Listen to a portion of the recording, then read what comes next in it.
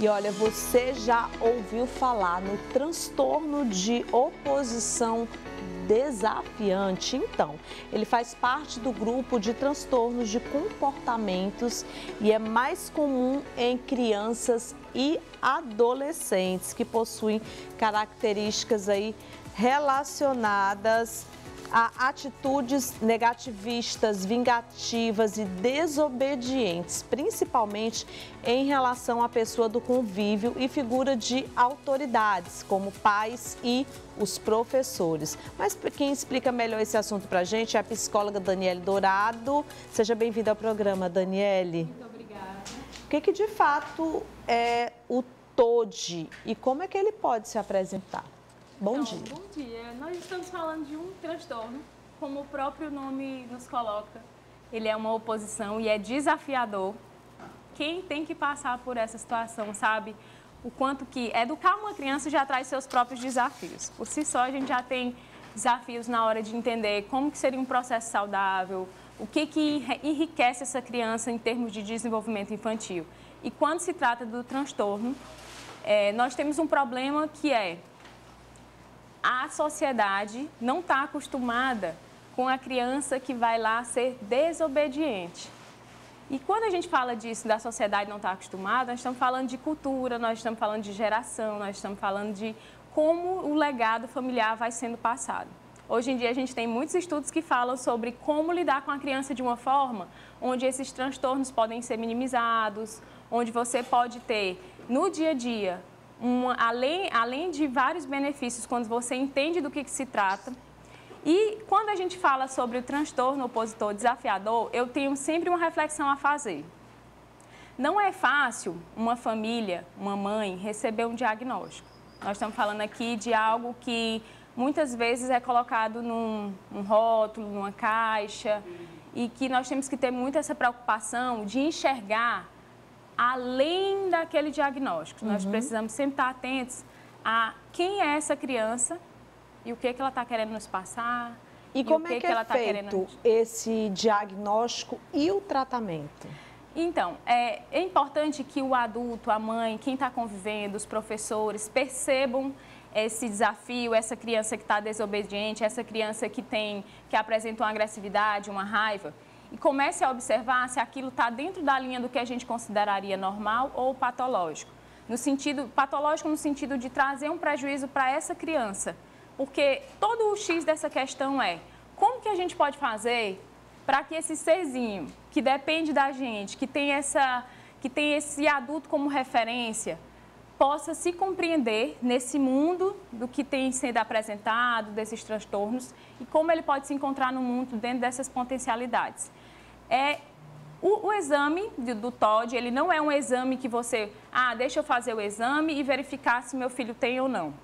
Ele é através de um histórico clínico. Você vai a um neuropediatra, a um psiquiatra infantil, e ele, através da sua história, de todo o contexto, e eu costumo dizer que é a hora que a equipe multidisciplinar faz muita diferença, que uma opinião de um psicólogo, uma professora que convive com essa criança, muitas vezes uma tia, uma avó, com esse histórico, Todas essas informações elas são reformuladas a ponto de se chegar a um diagnóstico ou não. Mas eu gosto muito de enfatizar que é importante que a gente olhe sempre para a criança em primeiro lugar e não para o diagnóstico.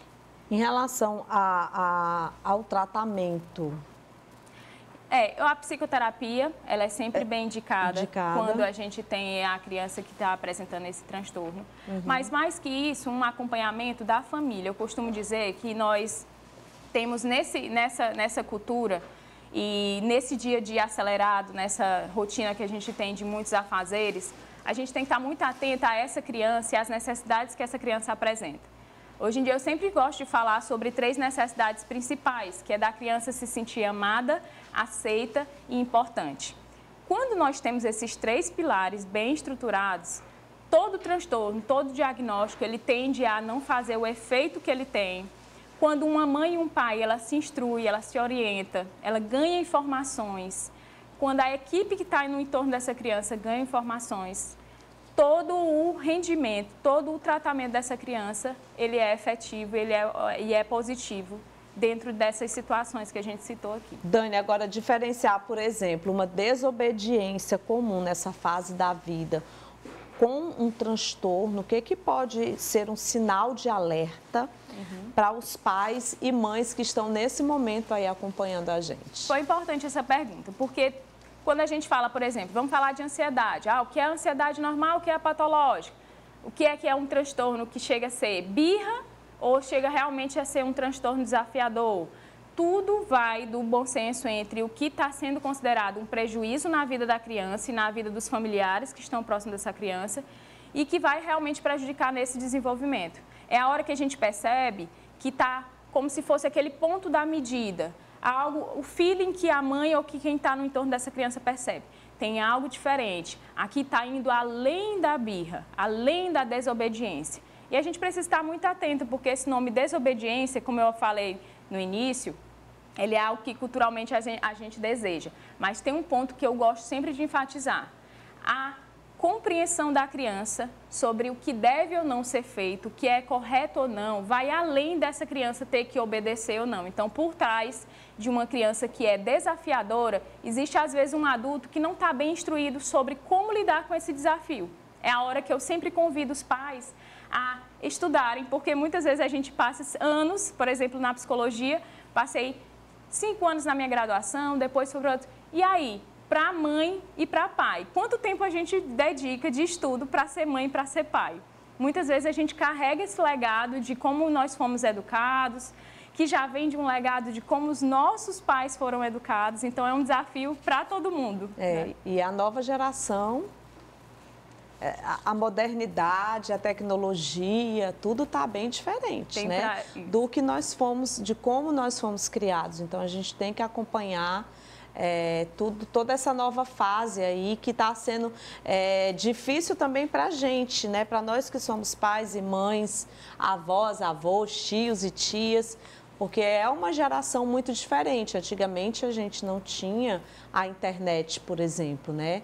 Hoje a gente estava aqui falando sobre o quadro Brincar e Aprender, a importância da gente trazer, inclusive, para as nossas vidas. Falamos da questão da terceira idade, você estava uhum. acompanhando ali a nossa entrevista com a Camila e com a Bruninha, e a gente estava falando sobre essa questão de trazer essa brincadeira para dentro da, das famílias, o quanto que é importante, porque nós brincávamos assim, não tinha internet como se tem hoje. Então, é assim, essa geração geração é uma geração é, que já começa com o, o celular na mão. Então, você já vê, por exemplo, um bebê Daqui a pouco tá ali o pai e a mãe já dá para uma criança pequena, para um bebê, um celular. Gente, às vezes eu fico impressionada. Quando eu encontro alguma amiga minha tá com um bebê, eu vou lá, ô oh, bebê lindo e tal. Quando eu menos espero, tá lá. O bebê pequeno com o celular na mão e o dedinho já faz assim, ó. Aí eu, minha gente, né? Então, assim, nós precisamos uhum. avaliar tudo isso. Exato. É necessário que a criança ali, na, nos primeiros aninhos de vida, ela seja tirada das telas. Eu sei que é difícil, é, porque nós estamos com as telas o tempo todo. Então, o bebê, a criança vai se formando e vai vendo aquilo. Mas se você der esse estímulo ali para a criança, e você entregar e você acostumar, essa criança só vai querer isso. Então, é muito mais fácil você brincar com os brinquedos educativos, né?